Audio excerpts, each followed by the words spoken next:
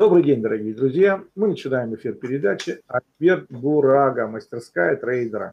Альберт, трейдер из Краснодара, уже к нам присоединился. Приветствуем вас. А, добрый день, а, Игорь. А, добрый день, коллеги. Рад всех приветствовать. Тут почитал немножко чат сверху, смотрю, народ веселится потихоньку. Вот, в общем-то, жизнь кипит, рынок идет, и нам, как всегда, есть над чем поработать, над чем подумать, поразмыслить. В общем-то, главное, чтобы не спеша и не успеть при этом наломать дров, за которые потом придется очень горько расплачиваться, как всегда, депозитом. Вот, поэтому аккуратно смотрим, а, все инструменты у нас есть для работы, и новостной фон у нас, в общем-то, известен, как правило, по крайней мере, время. И а, индикаторы есть, и технические есть, и индикаторы не технические, скажем, другие, ну, я, как всегда, имею в виду свои индикаторы, вот, хотя подчас затрудняюсь э, отнести их к той или иной группе индикаторов, в общем-то, но явно, что это не, не технические индикаторы, вот, но и к фундаментальным тоже их отнести, в общем-то, довольно-таки сложно, это какой-то, скорее всего, э, такой симбиоз, вот, построенный на технике, на ожиданиях рынка крупных трейдеров, ну и также на ожиданиях а, движения цены в долгосрочном периоде у очень крупных участников рынка. Ну, давайте посмотрим, что у нас было, что у нас есть на данный момент, и уже будем как-то ориентироваться, исходя из этих показателей. Я включил демонстрацию рабочего стола.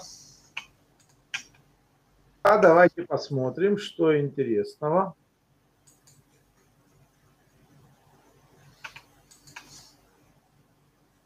Видим хорошо.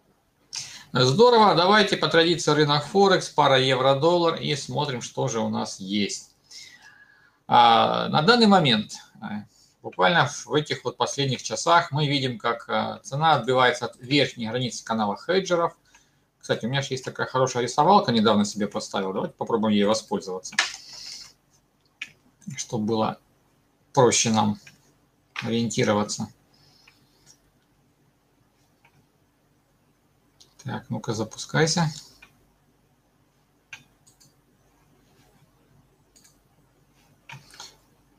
Ладно, пока она запускается, я просто расскажу, что сегодня у нас видим отбой от э, верхней границы канала хеджеров. Вот здесь, в этом моменте. Вот. Работаем спокойно, согласно правилам торговой системы. Потенциал хода у нас а, неплохой, в общем-то, вниз можем бежать достаточно далеко, потому что а, красный балансовый уровень, вот мы видим, да, где у нас находится. Вот это достаточно а, дальняя позиция. И согласно правилам ТС, весь этот диапазон, в общем-то, мы можем спокойненько забрать. Это почти 273 пункта по четвертому знаку. А вот, и упускать такую возможность нам нельзя. Но опять-таки правильно рассчитываю money management, чтобы, если что, мы могли э, пересидеть небольшую просадку и также, если что, закрыться по стоп-лоссу. Это обычное дело, никто такие вещи не отменяет никогда. Так.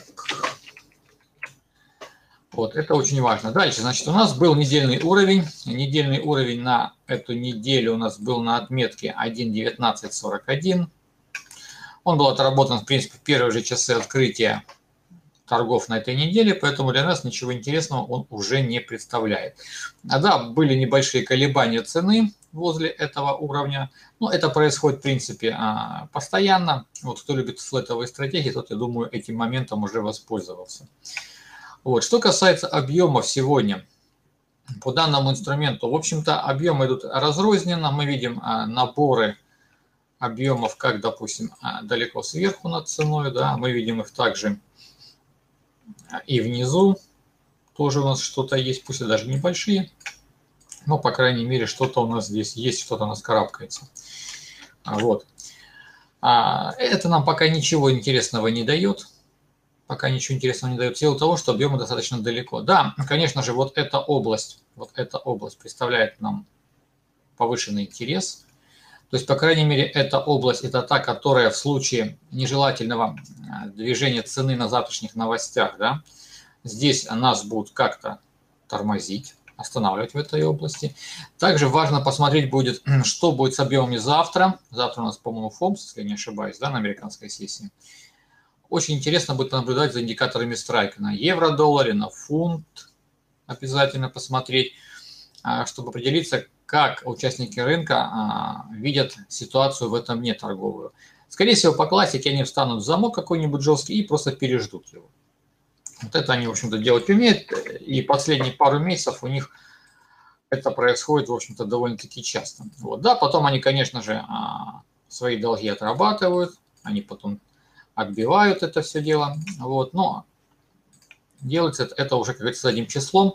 Вот, и мы на этом особо не заработаем. Ну, кстати, тот же самый пример, да, отработка ценой, границы канала, но уже после экспирации. То есть участники рынка не стали здесь а, вкладывать большие суммы денег, чтобы вернуть цену до границы канала. Это обычное дело. Но я этот момент рассказывал, тут еще замок у нас был 6 4-6 числа, да, вот эту всю ситуацию я уже обрисовывал.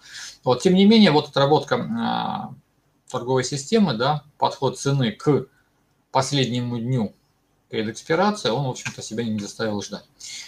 Вот, так что здесь спокойненько работаем согласно правилам торговой системы. Теперь давайте глянем, что у нас по импульсной системе, да, по индикаторам профиля рынка и индекс валют. А, значит так, паттерн последний у нас все еще в работе от 6 числа, пока ничего не менялось, в общем-то. А, цена двигается без особого, скажем так, энтузиазма, но оно и понятно, неделька у нас вот это будет интересная в плане новостного фона. Вот завтра торговать по данной системе, конечно же, можно, но будьте очень аккуратны, имейте в виду, что нужно будет, в общем-то, из рынка выпрыгивать в любой момент. Вот если что-то пойдет не так. А, значит, сейчас мы, в общем-то, тестируем границу 1.618 уровня, верхнего уровня расширения. Вот, а, индикатор силы валют нам, в общем-то, ничего не показывает, но он показывает нам отсутствие действия. То есть мы в рынок не заходим, потому что оба индикатора обеих валют находятся по, одну, по один уровень от нулевого, по одну сторону от нулевого уровня и находятся в корреляции. То есть здесь ничего интересного нет. А на прошлой неделе у нас входов по данному инструменту не было по этим индикаторам, поэтому пока просто наблюдаем, что будет происходить. Так, дальше фунт, да, фунт смотрим, что у нас по фунту. По фунту очень интересная ситуация. Значит, во-первых, у нас 14 числа был трендовый вход. Трендовый вход был, он до сих пор еще в работе. Частичная фиксация была у нас вчера, 18 числа. Вчера, кстати, к сожалению, у нас была задержка по а, этому уровню, верхнему балансовому уровню. Да, был у нас технический сбой, действительно, признаю, я об этом писал, поэтому индикатор уровень, уровень мы получили уже где-то в 12 часов дня. А, вот. Но, тем не менее, здесь, во-первых, у нас был очень интересный паттерн к концу дня сформировался, тот же самый, который был по канадцу вчера. Я сегодня еще вам об этом а, напомню, покажу на графике. Вот. И пока у нас, в общем-то, показатели все на движение инструмента вниз. Вниз у нас есть, а, скажем так, один долговой уровень. Вот на этой отметке, да но он, честно говоря, очень такой спорный. Я его за долговой пока не считаю. Ну и вообще, в принципе, не рекомендую считать, поскольку здесь расстояние, в общем-то, открытия в полночь до уровня было меньше положенного. Поэтому мы его не считаем долговым, а долговой уровень у нас на отметке 1.3257. Все, так что вот к этому уровню фунт должен будет прийти с очень большой вероятностью. Вот, кто запрыгивал уже попозже здесь, вчера, на этом уровне, сделали правильно, в общем-то. Система себя подтверждает действительно, так оно и есть. Вот, поэтому идем спокойненько вниз. А те, кто заходил по а, одному из паттернов индикатора SIP 14 числа, частично фиксировались вместе со мною вчера после получения уровня, после обеда. Вот, и частично держим сделку здесь, если придет э, цена к этому уровню, закроем без убыток, ну, может быть, с каким-то маленьким плюсом и, в общем-то, а, закончим данную комбинацию. Вот и тогда я уже выложу все сделки, которые были в этом цикле а, движения цены. Вот. Но пока у нас здесь есть один минусовой, я говорил уже, один минусовой ордер, один плюсовой с фиксацией вчера.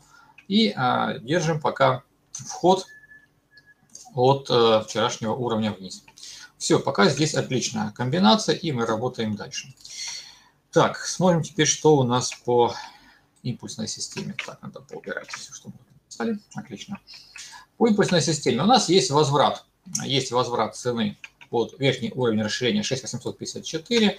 Я, кстати, всегда говорю, что торговать выше этого уровня, вот в этой зоне я не рекомендую, поскольку для нас это космос, и здесь непонятно, что будет происходить и когда все это закончится.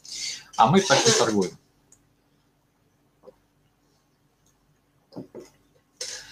Вот, сейчас мы идем вниз. Сейчас мы идем вниз.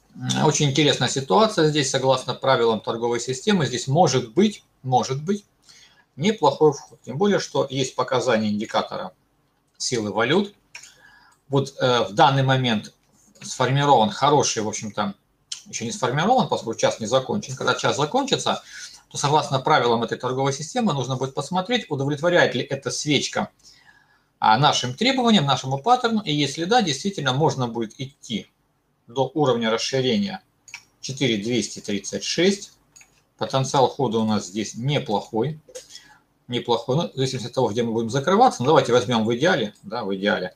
Дистанция 110-115 пунктов. Я считаю, этот момент упускать не стоит. Так что имейте это в виду. Вот хорошая сейчас, как говорится, ситуация. Я даже поставлю себе стрелочку, буду наблюдать. Так, э, дальше. Австралиец.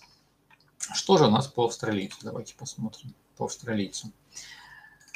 Значит, на данный момент у нас есть повторная попытка отбиться от верхнего балансового уровня с целью движения вниз, где-то примерно до отметки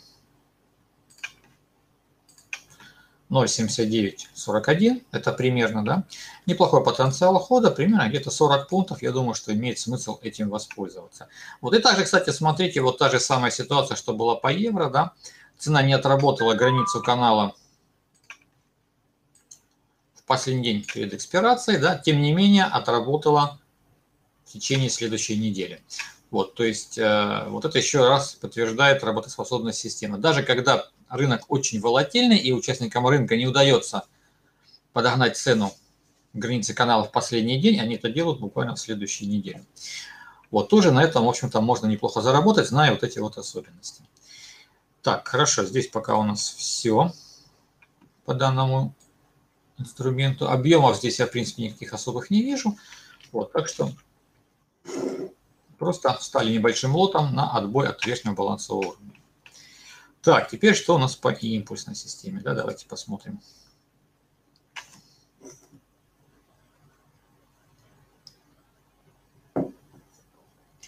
По импульсной системе все довольно-таки просто. Цена колеблется между верхним уровнем расширения 1.618 и нижним уровнем расширения. Следовательно, для нас эта зона вся не торговая, мы здесь не работаем. А вот если цена будет выходить уже, скажем так, вниз, да, от уровня 1.618 до 2.618, пожалуйста, здесь можно работать согласно правилам торговой системы и подтверждения да, индикатора силы валют. Не забываем. Вот на данный момент пока никаких, кстати, подтверждений у нас нету.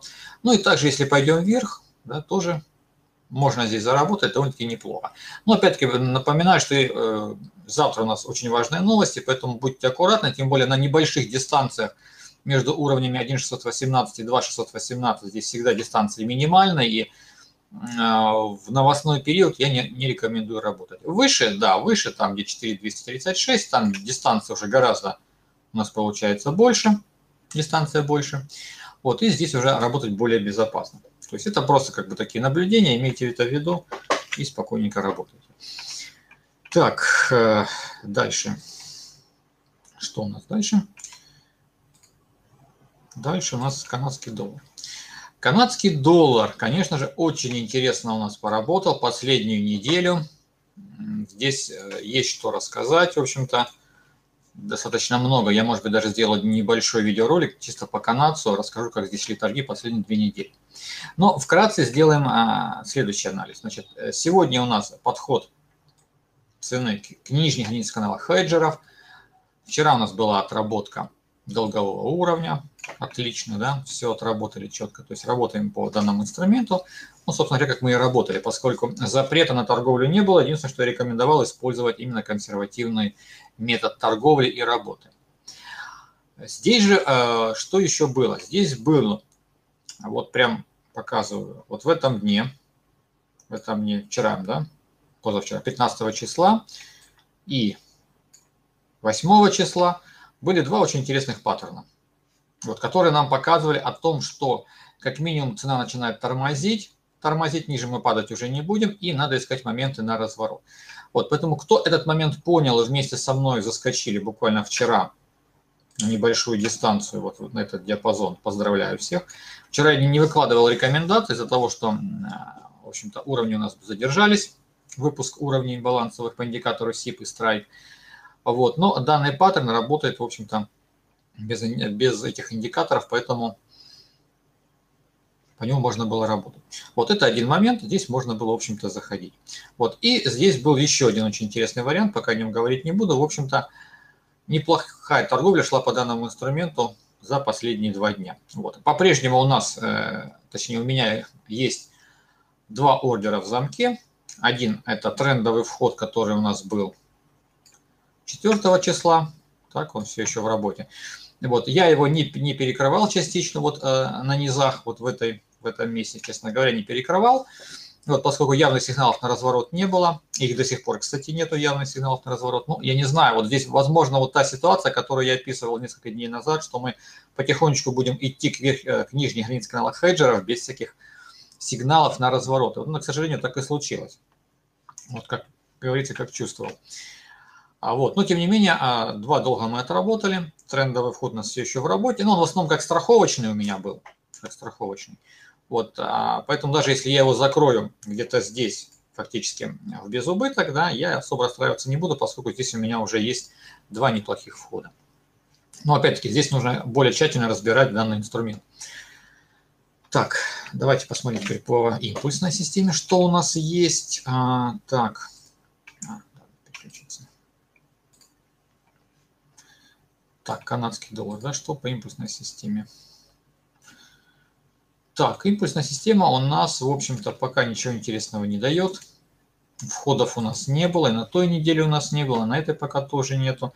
Индикатор силы валют, он либо показывает нам корреляцию, вот, и не дает нормальных входов, либо дает, показывает нам, в общем-то, перегретость системы и выход одного из индикаторов за, рабочий, за зону рабо работы.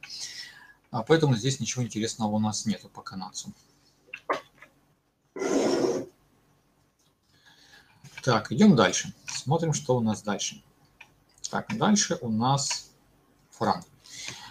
А, что же по франку? Что же по франку?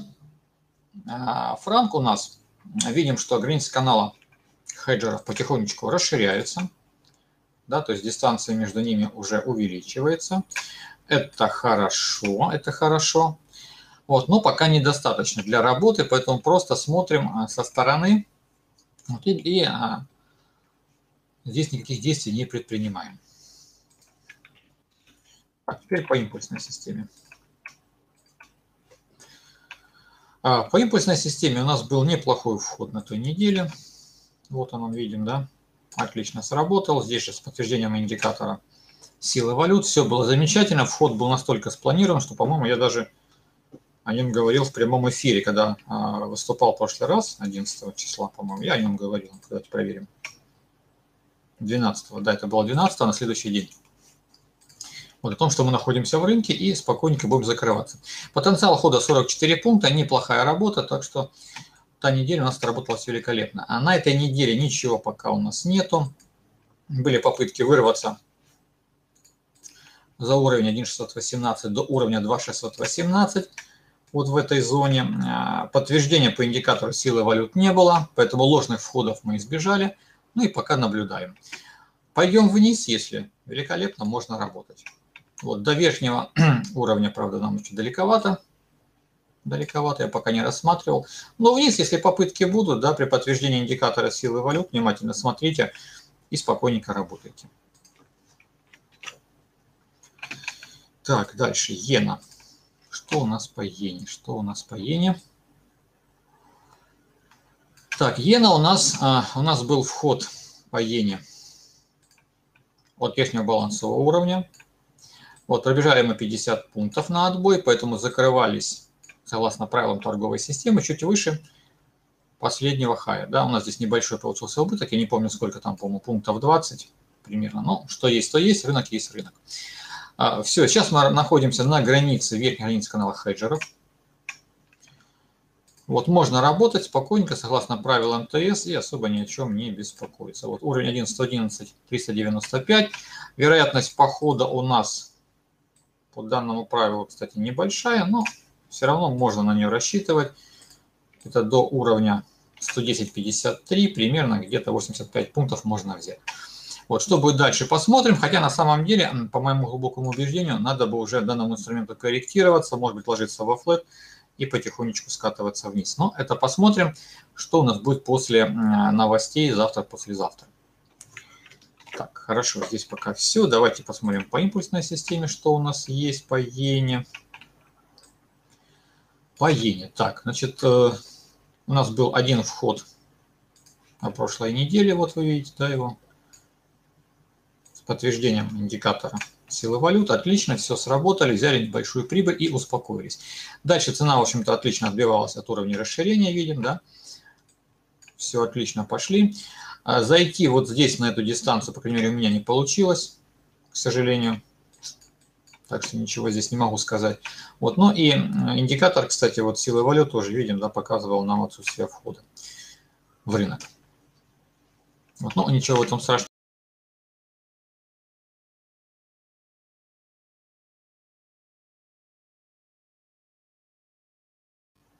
По индикаторам импульсной системы. Так, значит, у нас был вход на прошлой неделе, великолепный вход, 30 пунктов мы взяли. Заходили здесь, выходили согласно правилам торговой системы, и индикатор профиля рынка, в общем-то, нам все это подтверждал. Отличный был вход, кстати, почти что от уровня 1.618, великолепно, то есть взяли ну, почти всю дистанцию. А, так, что у нас сегодня? Значит, на данный момент, кстати, а, уровни у нас уровни. Да, цена идет между уровнями, не торговая зона. Вот, если будем выскакивать вверх, отлично, при подтверждении индикатора индекса валют можно будет спокойно заходить. Вот, пойдем ли мы вниз, но сегодня мы точно не пойдем вниз, но даже если такой вариант случится, но это только завтра, послезавтра, пожалуйста, тоже можно будет работать до уровня 2,618. Вот, так, ну, по остальным инструментам, а, по индексам у нас пока ничего интересного нет. То смотрим. А, вот, ну как нету? Кстати, есть. Кстати, есть. У нас прошла экспирация, кстати, по NASDAQ. А последний наш вход был, насколько я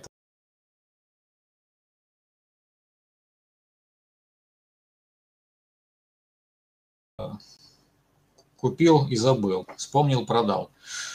Вот. Ну, там лот маленький, поэтому не страшно. Ну, в общем-то, пока мы а, работаем здесь, на уровне предыдущей верхней границы, вот, пока немножко скатились вниз. Вот, и согласно правилам торговой системы, пока все еще в рынке. Да.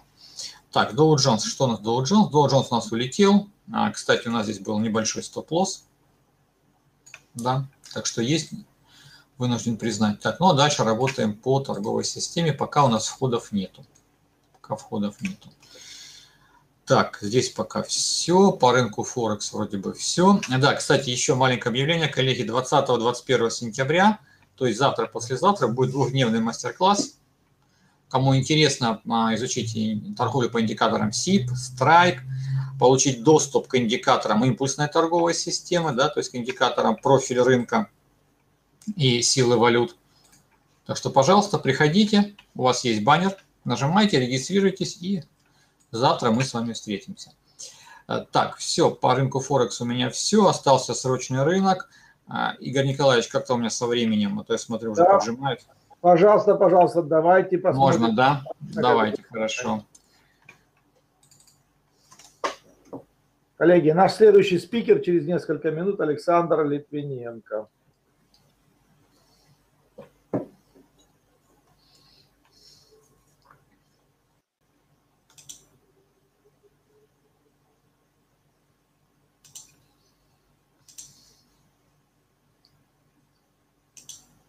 Ага, видим хорошо. Так, отлично. Ну, давайте посмотрим. Так, РТС, в общем. РТС радует. Значит, у нас был вход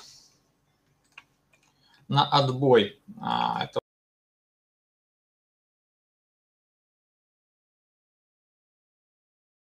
согласно правилам ТС, в принципе, там же, где открывались, поэтому убытков не понесли. А вчера буквально у нас был вход снова, вот мы видим, да, на продажу, и спокойненько идем вниз. Отлично мы отработали. По правилам первый час, конечно же, после открытия мы не работаем, но второй и третий час после открытия, в общем-то, дали нам возможность зайти, а, за что им большое спасибо. И сейчас мы уже в плюсе по нашим позициям потихонечку скатываемся вниз. А, в хорошем смысле этого слова, конечно. Э, так, значит, э, примерно у нас Уровень take профита 109 394, потенциал хода 3500 пунктов. Великолепно можно работать и ни о чем не беспокоиться. Все, но не забываем, что уровни take профита могут быть пересчитаны, скажем, в лучшую для нас сторону. Это очень важно. Так, а, дальше. Газпром. А, Газпром пока без нас, ходит туда-сюда. Последний сигнал по таблице анализ ФОП, сейчас еще раз сверюсь. Сверюсь, у нас был 11 числа движение наверх. Ну, в общем-то, мы потенциал хода взяли, 360 пунктов у нас был, да, в пике. Даже если вы не полное движение брали там поменьше, все равно оно имело смысл. Все, пока на сегодня здесь входов нету, уровни балансовые стоят широко, а, поэтому пока здесь находимся в стороне. Так, Сбер. А Сбер идет великолепно на отработку долговых уровней. Здесь все замечательно. В общем-то, я чувствую себя комфортно. Вот мы уже подошли почти к уровню моего первого входа, 30 числа, который у меня был. Второй вход у нас был вместе с вами, коллеги, практически в прямом эфире, да, мы вот заходили здесь, здесь у нас были варианты, да, но вот вчера мы не дотянули, так что не получилось, уж тут извините. Вот, а так, в общем-то, входы у нас есть, и мы до сих пор еще работаем и тянем данную нашу конструкцию вниз к уровню как take профита, а take профит у нас это балансовый уровень. Все, здесь у нас а, ничего не было. Сейчас я гляну таблицу анализ ФОП еще раз. Да, все, у нас ничего больше не было. Все. Так, так, так, так, следующий инструмент. А, рубль-доллар. Рубль-доллар. Значит, э, последняя у нас, последний вход был 7 числа от границы, я уже об этом, по-моему, говорил. А, был вариант еще долиться 14 числа. 14 числа закрывались мы частично на отметке 57-87. У нас потенциал был хороший 40, ну, 400 пунктов, да, по полному разряду. А, для тех, кто работает среднесрочно, среднесрочно, да, красный балансовый уровень, как говорится, вам как целевой ориентир, осталось совсем немножко, и вы положите себе в кассу тысячу, ну, почти полторы тысячи пунктов. Отработка системы великолепная. Вот. Так что присмотритесь, кому интересно, индикатор бесплатный, я ссылочку потом скину в чате. Поставьте ставь, и работайте. Ставится он на МТ5 для а, брокеров срочного рынка. Предупреждаю, не, для МТ, не на МТ5 Форекс брокеров, а именно брокеров срочного рынка России. А, так, нефть. Что у нас по нефти? Ну, нефть у нас флет. Нефть у нас флет. Последние сигналы были на подъем, они отработались. Дальше были два сигнала на спуск. А, один сигнал основной толпы, который лично разводит, и был еще один интересный сигнал на спуск. Вот в совокупности все это нам дало флет. ну, флет тоже неплохо, по крайней мере, было несколько дней, чтобы подумать и принять решение, что тоже, в общем-то, для нас очень интересно. Что у нас сегодня? Что у нас сегодня? Исходя из того, что мы видим, как у нас идет, вот мы видим, да, движение нижних границ канала хеджеров – которая уменьшается. Все это мне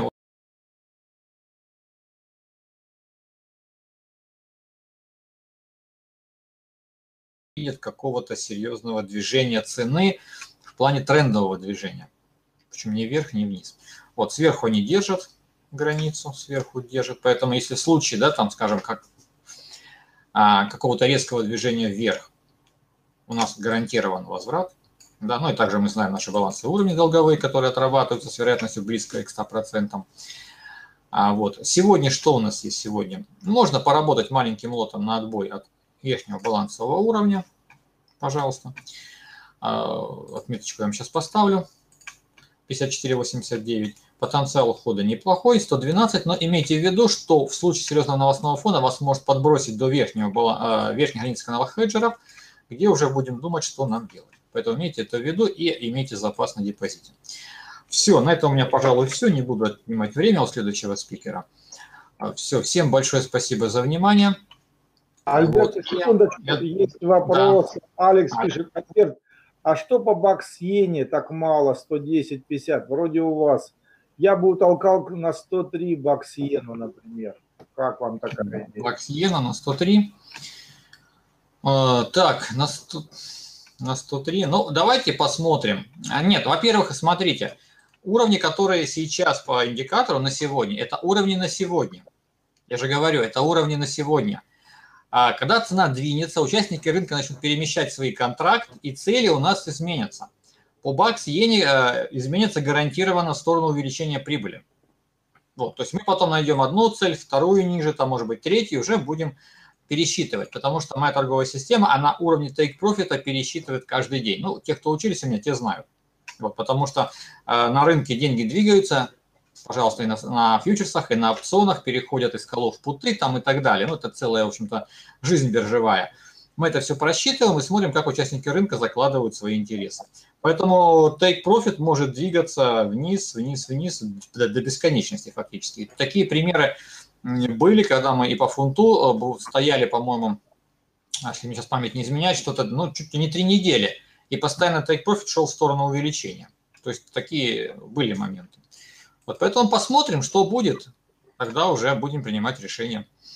Ясненько. Ну и общая рекомендация Алексу пойти поучиться у Альберта Бурага и узнать уже, как двигается цена наконец, чтобы так за вместе затолкать э, бакс иену на 103. Спасибо большое, Альберт, вам за ваш обзор, ответы на вопросы. Хорошего дня, удачи. Спасибо большое, Игорь Николаевич. Всего доброго, коллеги. Попутных нам с вами трендов. Спасибо.